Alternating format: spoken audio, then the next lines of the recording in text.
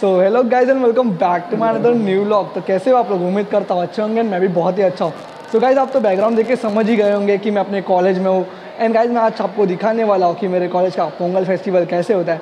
तो चलिए हम हमारे कॉलेज का पोंगल फेस्टिवल देखते हैं। और आप भी देखिए, और अगर आप मेरे चैनल को अभी तक सब्सक्राइब नहीं किया तो प्लीज़ सब्सक्राइब करना। और ब्लॉग को ज़रूर एंड तक देखना। स्किप मत करना। तो चलिए स्टार्ट करते हैं ब्लॉग सो गाइज़ मैं अपने कॉलेज के पास पहुँच चुका हूँ तो चलिए हम अंदर जाते हैं। सो गाइज़ यहाँ पर एंट्रेंस में ही फूलों से वेलकम बनाया है और ये देख सकते हैं पोंगल 2024 सो गाइज़ देख सकते हैं यहाँ पर पूरा पोंगल का तैयारी हो चुका है।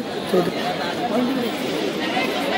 A few moments later. तो गाइज़ सब लोग आ चुके हैं देख सकते हैं बहुत ज़्यादा भीड़ है कॉलेज में। एंड पोंगल भी स्टार्ट हो चुका है तो चलिए जाके देखते हैं आगे। तो आप लोग देख सकते हैं यहाँ पर कॉलेज में कैसे लोग पोंगल बना रहे हैं। यहाँ पर भी लोग ने ऐसे चूल्हा जलाया है एंड देन इसके ऊपर लोग चावल बना रहे हैं। इनका इस कॉलेज में कुछ ज़्यादा ही भीड़ है देख सकते हैं बहुत लोग आए हुए हैं।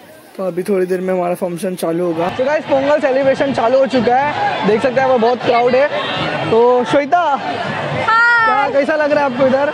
अच्छा मज़ा आ रहा है एकदम एंजॉय कर रहे हैं। आपने भी पोंगल बनाया इधर? हाँ। किधर है आपका? ये इधर श्वेता का है दिखाता हूँ आपको। गाइस ये है स्वाति का पोंगल देख सकते हैं। बहुत ही अच्छी तरीके से बन चुका है तो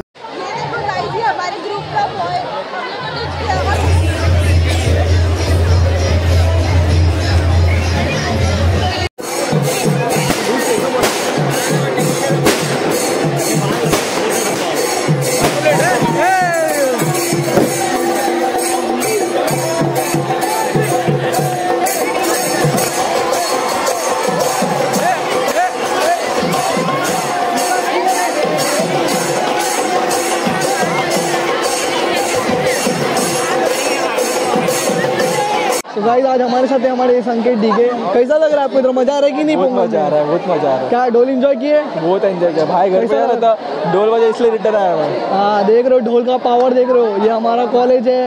यहाँ पर पोंगल फेस्टिवल मना रहे हम लोग। तो आपको तो बहुत मज़ा आया होगा। बहुत अभी आप घर पे जा रहे हो? हाँ भाई। हाँ हम हम तो भाई डीजे बनने देना फिर थोड़ा नाच के जाते हैं अपन घर पे। हाँ तो अभी गाइस यहाँ पर डीजे बजने वाला है। कुछ डांस हो भी है।